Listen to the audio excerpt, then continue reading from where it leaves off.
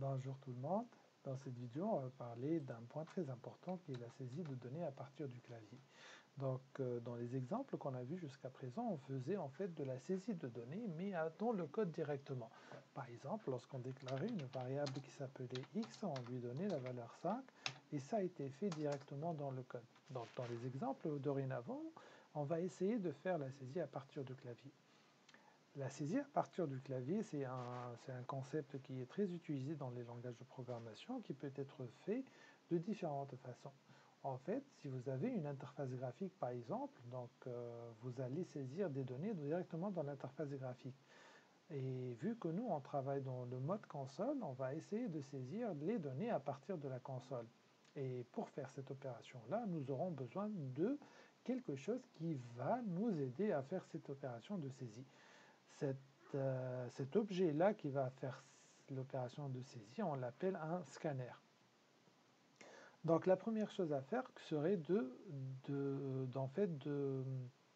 définir ce scanner. Pour le définir, c'est très simple, vous utilisez le nom de l'objet qui est un scanner. Remarquez ici, lorsque je clique sur scanner, j'aurai l'affichage de import euh, au départ. C'est quoi cette instruction-là? En fait, le scanner, c'est comme si c'est un livre qui se trouve dans une bibliothèque. Et euh, si je veux, je veux, lire ce livre-là, je dois être capable de l'importer à partir de la bibliothèque. Donc l'instruction, la première instruction qui s'affiche dans votre code, c'est l'import de ce livre-là à partir de la bibliothèque qui contient ce livre. Et pour la bibliothèque, cette bibliothèque elle est, euh, organisée sous forme de lignes et de rangées. Donc vous allez dans la rangée, vous allez dans la section correspondante et vous allez tirer votre livre. Cette opération-là, techniquement, c'est la classe, le scanner, c'est une classe qui se trouve dans un package. Le package s'appelle java.util.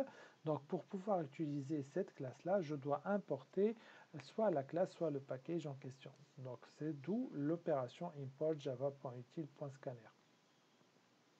Donc, une fois cette opération-là elle est correcte, elle est écrite, votre scanner qui a été déclaré, je vais l'appeler SC, et euh, il faut l'initialiser.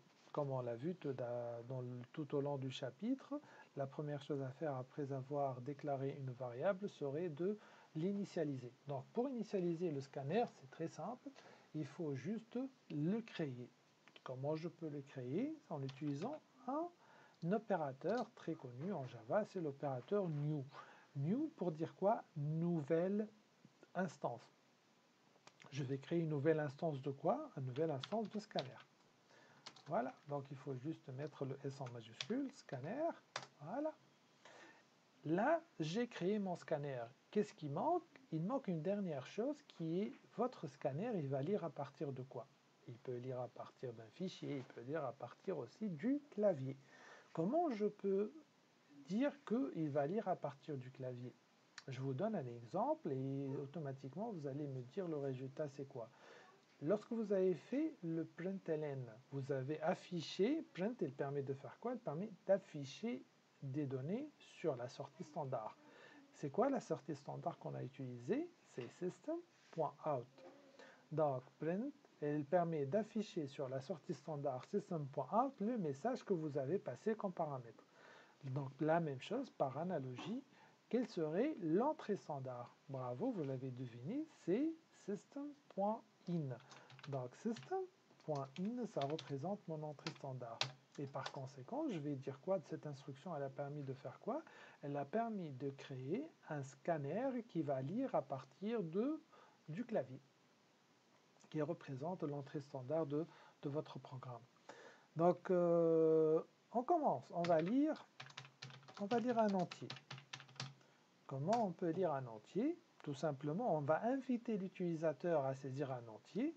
Donc system.out.println juste pour indiquer un message, par exemple saisir un entier.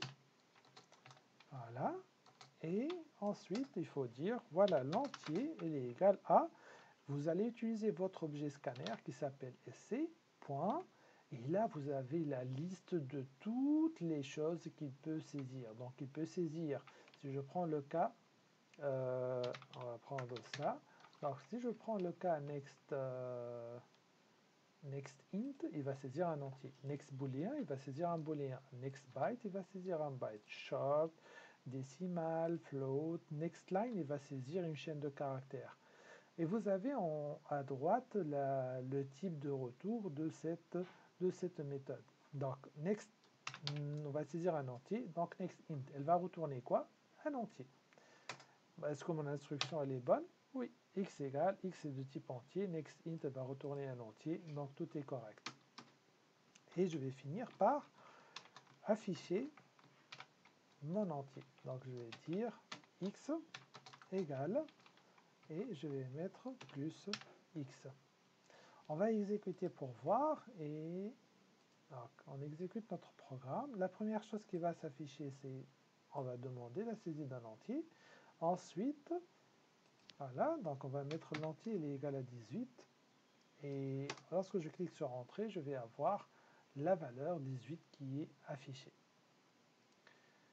Voilà, donc ça c'est pour la saisie d'un entier. Si vous voulez saisir un réel, ça va être next double, next float. Si vous voulez un boolean, next boolean, etc. etc. J'espère que cette vidéo vous sera utile pour la réalisation de vos laboratoires et on se retrouve dans une vidéo future.